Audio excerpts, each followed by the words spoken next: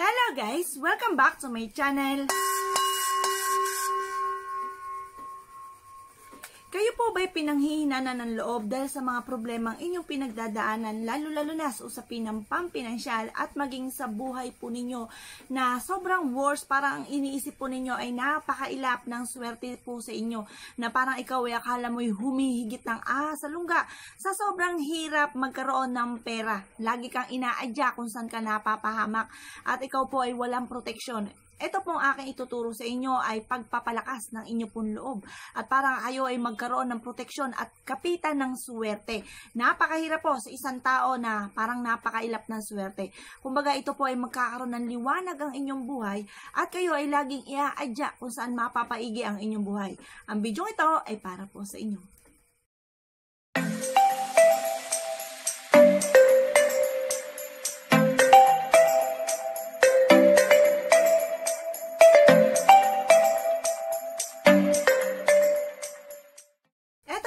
Ituturo sa inyo ay lagi kayong uh, bibigyan ng daan. Kumbaga, mapapansin naman po ninyo yun, pagkatapos nyo gawin po ito, eh parang lagi kang iaadya kung saan mapapaigi ang iyong buhay.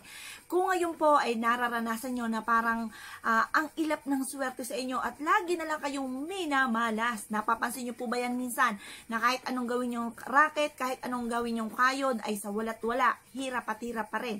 Gusto nyo po ba na mabago naman ang takbo ng ating pamumuhay? Lalo-lalo na kung almost almost a years nang nangyayari sa inyo ang ganyan na lagi na lamang malas. Para naman makatikim tayo ng ginhawa. Yan po ay lagi kong panalangin sa mahal na Panginoon. Noong mga panahon na talagang ang dami mga pagsubok na dumarating sa akin. Lagi ko pong dinadasal. Lagi akong humarap sa may silangan, sa may sinag ng araw. Lagi po ako nagdadasal doon yung pakikipag-usap ko sa araw at ganoon din po sa mahal Panginoon, doon na mismo kung saan ako nakatayo. Kasi hindi naman po natin kailangan, lagi po tatandaan na, hindi natin kailangan na dumayo pa sa may simbahan para lang magdasal. Or kaya po eh, doon sa harap na altar.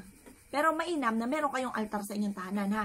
Pero kahit nasaan man kayo, basta mula sa inyong puso ang pagdadasal, pwede na po yan. Yan po ay effective na effective.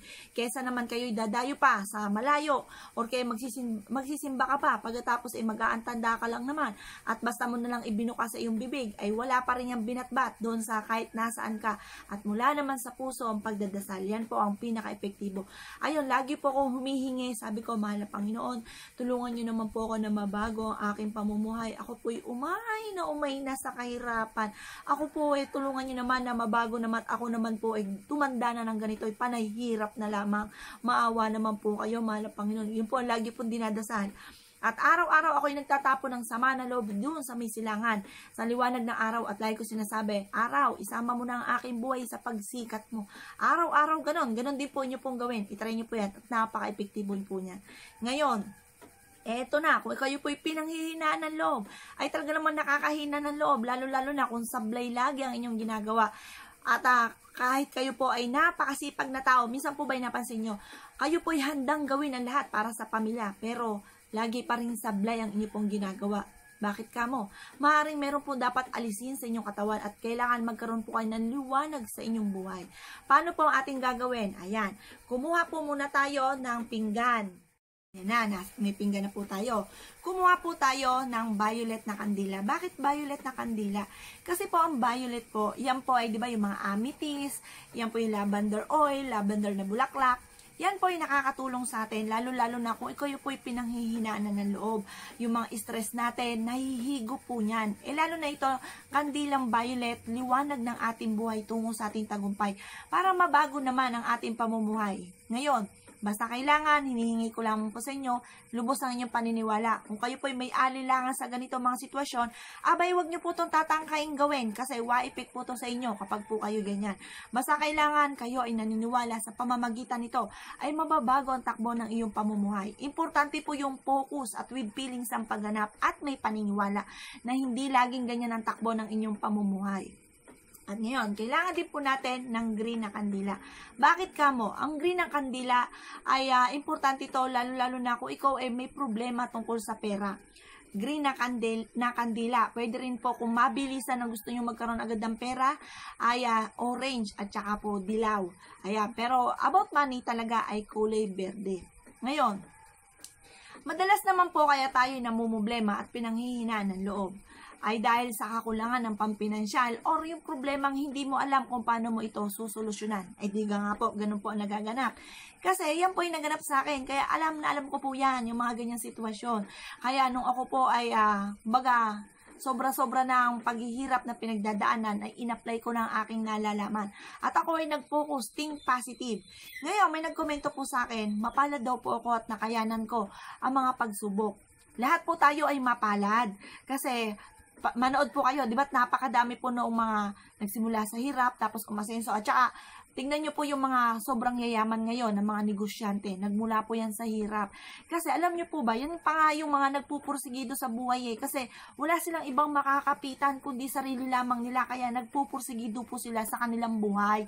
Ganon din po ang ating gagawin. Lalo-lalo na kung wala naman tayong kakapitan na may pera or kaya po eh ang pamilya natin ay talagang lumaki sa wala naman talaga. Talagang sarili lamang sikap, kaya nabubuhay sa mundo. Ganon din po ating gagawin. Pero syempre, tayo ay maraming pangarap. Kaya po kayo ay nanonood ng ganitong video, marami po kayong pangarap, di ka nga po. At kayo po ay nangangarap na mabago naman ang takbo ng pamumuhay. Di ba po? Tama. Ngayon, kaya kailangan magpo-focus tayo, mag-concentrate, think positive, na hindi laging ganyan ang takbo ng ating pamumuhay. Ayan na. Ngayon, ganito po inyo pong gagawin. Kumuha po kayo ng panulat. Halimbawa, ito. Yan, bawal po kasi yung ano eh, ha? Diyan po ako nalintikan. At sa maraming pang bagay. Kaya ako ay naglilinis ngayon. Ayan, ngayon, ganito po inyong gagawin, ha?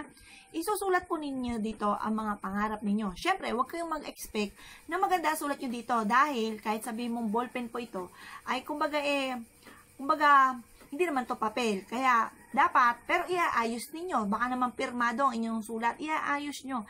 Ito po ay kailangan lamang talaga ikaw ay, uh, ay uh, may paniniwala. Kasi kung wala kang paniniwala, mawawalan ka ng tiyaga ito po yung mga pampaswerte, talagang yan po ay dumadaan sa proseso. Hindi po yan basta ginagawa. At uh, kung mapapansin nyo, kung kayo bibili ng pampaswerte, hindi po yan basta medalyon na suswertehin ka na. Kung mapapansin nyo, pag binili nyo yan sa mga manggagamot, ay mahal na po yan. Kasi dumaan po yan sa proseso. Kaya ito po ay tinuturo ko na sa inyo, kahit kayo po mismo, syempre wala nga po tayong wala tayong pera. Ngayon, ano ibabayad nyo sa manggagamot? Ako, ako po ay naniniwala na kung ikaw po mismo ay nakakaramdam ng paghihirap sa inyong buhay, ay uh, mas mabilis pong tatalab ko ano man ang inyong panalangin. Kasi kayo po ang nakakaramdam at inaasahan ko na with feelings ang pagganap ninyo. Kasi kayo po yung naghihirap, kayo yung nakakaramdam. Kaya mas effective po yan kapag kayo mismo ay may dunong at kayo po ang nagawa. Ayan. O, dito na. Sulat niyo po dito kung ano yung mga bumabagabag sa inyong kalooban. Halimbawa, eh, money. Ayan, syempre, yun ang pinakamayor. Or kaya po, eh, yung anak po ninyo, family. Or kaya inyong kalusugan. Kung ano man po ang inyong hinanaing ay kukuwit nyo po dito sa ating kandila. Isusulat nyo po siya. At pagkatapos po niyan, ay ito namang ating kandila. Sabihin po natin dito yung halaga na kailangan-kailangan po natin. Lalo-lalo na para tayo ay makabayad kaagad-agad sa ating mga pagkakautang. Isusulat nyo po dito, mas mainam yung labis-labis sa ating mga pangangailangan upang sa ganon ay makatulong naman tayo sa ating kapwa. Parang bibigyan lang tayo na kung, tayo ang magiging daan kung bakit sila ay magkakaroon. Kahit papaano, halimbawa, binigyan ka ng blessing, kahit konti lang mula sa inyong puso ay magbigay ka. At uh, ang importante, mula sa puso para swerte sa inyo, swerte sa binigyan. Huwag kayong magbibigay kung masama ang loob po ninyo dahil hindi rin po yan swerte. Basta kailangan mula sa puso. At kapag lagi niyo po tatandaan kung kahit gaano kadami inyong pong tinulungan ay ganun din kadami ang balik po sa inyong swerte. Kaya kailangan ay magsishare tayo ng blessing at lagi niyo na ipapanalangin na pagkalooban kayo ng biyaya, ng labis-labis sa inyong pangangailangan upang sa ganon ay makatulong kayo sa inyong kapwa. At pagkatapos, sulat nyo po dito yung pinapangarap ninyo na magkaroon kayo ngayon 2020. Kung ilang milyon man ang inyong nais. Siyempre, labis-labis na nga po para mas marami tayong blessing na may pagkakaloob. At pagkatapos po niyan, think positive. Kumuha kayo ng larawan po ninyo. Tapos, kumuha kayo ng papel. Larawan ng buong pamilya. Ngayon, ay uh, ang gagawin nyo po, susulat nyo yung tunay na pangalan at ipilido. Tapos, ilalagay nyo ito sa isang typewriting or yellow paper. Pagkatapos po niyan ay itutupi, lalagay sa loob at ipapatungan itong ating ano. Kumbaga ito po ay petisyon para matupad kaagad kung ano man ang ating mga hinihiling po dito pang kalahatan na. At pagkatapos po niyan, basta ang pinaka-importante, halimbawa ito, kunwari ito ang pangalan, Kunwari, ang pangalan ay Apple, Joel, Joelyn. Ayan, kunyari ito yung picture ha. Kailangan tatakloban nyo ito ng typewriting. Pagkatapos, ito ang ipapatong nyo. Yung pangalan, petition po yan. Yung, yung mismong larawan niya ay nasa ilalim. Ang pangalan na isinulat nyo, yun po yung nasa ibabaw ng ating ah, kandila ha. At pagkatapos po niyan, kung halimbawa ang kandila ninyo ay matataba, okay po yon para halimbawa magdadasal ka lamang ng 5 minutes, papatayin nyo na araw-araw. Basta sa may silangan ang harap po ninyo. Tapos think positive na mababago lahat ang takbo ng inyong pamumuhay.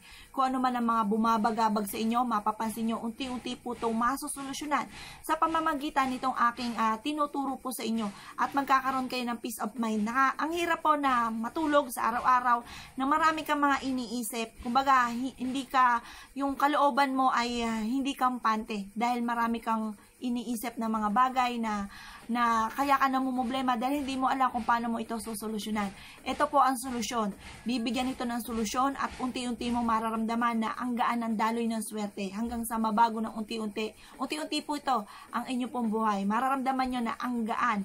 At ah, kung ikukumpara nyo yung dati, hindi pa kayo nagawa at itong nagawa na kayo ay ibang-iba. Yun lang po guys. Salamat po sa panonood. And don't forget to subscribe my channel. Basta kailangan think positive po kayo. At ah, lahat po ng mga problema nating pinagdadaanan ay pagdadaanan lamang po natin at hindi natin yan matatambayan. Yun lang po guys. Salamat po.